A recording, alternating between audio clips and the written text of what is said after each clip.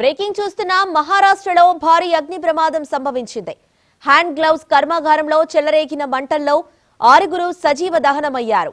ఔరంగాబాద్ సమీపంలోని వలూస్ ఛత్రపతి సంభాజీనగర్లో ఈ దుర్ఘటన చోటు చేసుకుంది.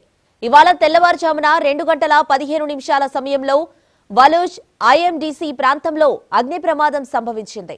ఈ ప్రమాదంలో కర్మాగారం మొత్తం అగ్నికి ఆహుతైంది ఫైర్ సిబ్బంది ఫ్యాక్టరీ లోపలికి ప్రవేశించి మృతదేహాలను వెలికి తీశారు.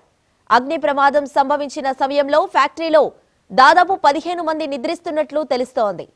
కొందరు తప్పించుకోగా మిగిలిన వారు మంటల్లో చిక్కుకొని మరణించినట్లు స్థానికులు తెలిపారు.